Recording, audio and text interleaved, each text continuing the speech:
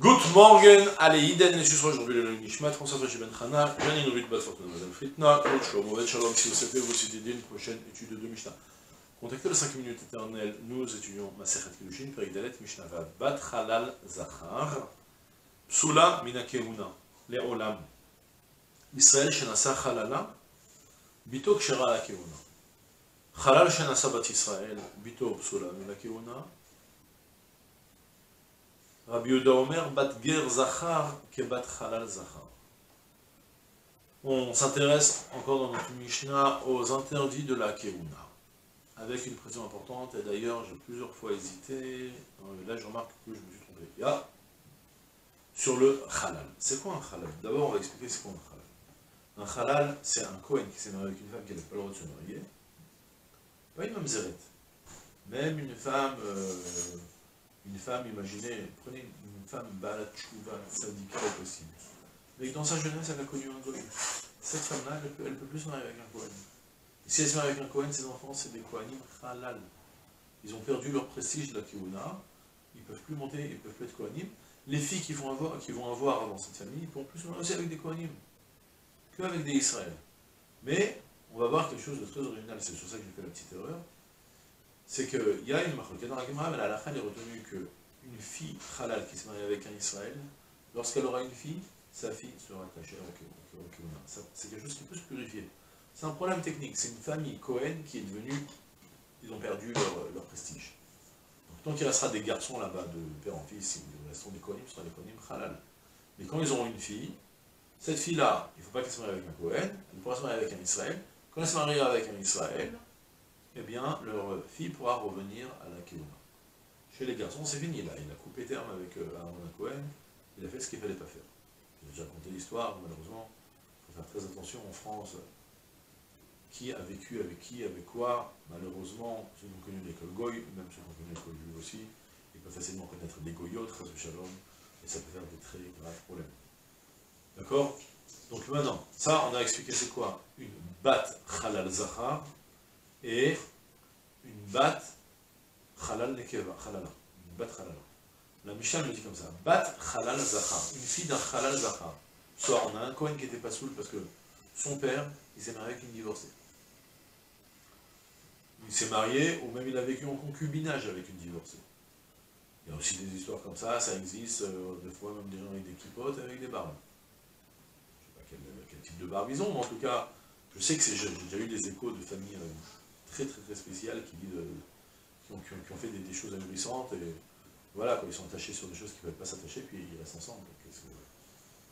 Qu'est-ce qu'on peut faire Ils vont nous dire, mais concrètement, ça fait des graves problèmes, après ça fait des enfants, livre.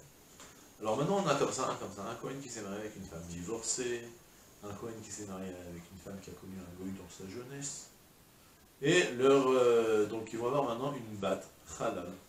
Alors maintenant, ils vont avoir eux-mêmes un halal. Par exemple, ce halal-là, il va se marier avec une autre femme, un jour, et puis il va avoir une fille qui va être bat halal zahar. Une fille de halal zahar. Alors elle est psola, minakeuna, mais c'est interdit de se marier avec les Kohanim constamment. Dès qu'on a, il a ouvert maintenant la filiale des, comment dire, les dynasties des, des Toujours, toutes les filles qui naîtront là-bas, elles seront constamment interdites à la Keuna. C'est fini. Il a été grillé, il ne pourra plus jamais avoir une fille qui va se marier avec la Keuna. Les Olam. Par contre, Israël Shenasa Halala. Si on a un Israël, un juif, moi, je vais me marier avec une femme Halala, d'accord, une fille de Cohen, de relation interdite entre Kohanim, avec un Cohen divorcé, d'accord Et eh bien dans ce cas-là, figurez-vous que la fille que je vais avoir, Bitok Shira la Keuna, ça y est, je l'ai purifiée. Parce que maintenant, la fille qui va naître, c'est plus une famille de Cohen défectueuse. C'est devenu une famille d'Aaron, aucun problème. C'est une famille d'Israël, aucun problème. Elle a perdu le, problème de la Kihuna. La Kihuna mal, mal, entretenue.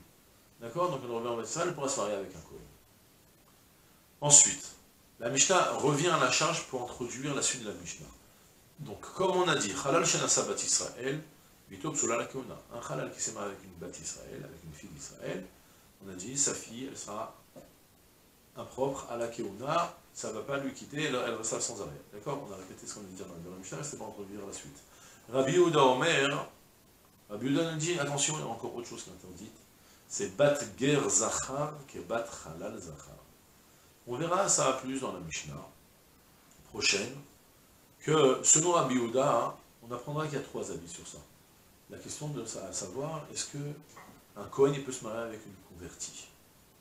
Je vous dis tout de suite concrètement qu'est-ce qu'on retient pour la Un Kohen ne peut pas se marier avec une fille convertie de l'âge de plus de 3 ans. Pour la simple bonne raison que, passé 3 ans, si jamais elle a été abusée, même par un goy, même quand elle va se convertir, elle est devenue, elle prend un statut de zona. Elle ne peut plus être une zona dans la, dans la Torah. Une zona, c'est pas forcément une femme qui a fait un adultère ou une femme qui, qui, se déprave complètement. Ça peut même tout simplement toute femme qui veut avoir un rapport avec un goy, elle prend statut de zona. Si un coin il va avoir un rapport avec elle, il va avoir un rapport avec une zona. Elle va même la rendre halala, c'est encore plus compliqué. Euh, D'accord Parce que ça, ça quand même, c'est des petites nuances. Il y a maintenant donc, on a maintenant, donc, premièrement, une fille de guerre, une fille elle-même convertie, plus que 3 ans, elle ne peut pas s'en prendre à Keuna, il n'en est pas question. Moins de 3 ans, c'est déjà une première marque. Il y en a qui pensent malgré tout, les guérim ils sont constamment interdits par la Keuna jusqu'à qu'il y ait au moins un des deux parents d'Israël. Et là, Rabbi il est encore plus marqué sur ça. Il te dit, tant qu'il est descendant de guerre, homme, il peut pas se marier. C'est-à-dire, si, imaginez, famille, Sébastien, qui s'est converti il y a déjà cinq générations, et chaque fois, chaque enfant, c'est devenu maman des chivot, excellent, merveilleux, parfait. Et euh, ouais, ils étudient vachement bien tout ça. Il faut savoir que malgré tout, chaque fois qu'il aura une fille, c'est une famille de guérim. C'est une famille de guérim, mais pas passer avec les Kouda sur Rabbi Pour la c'est pas comme ça.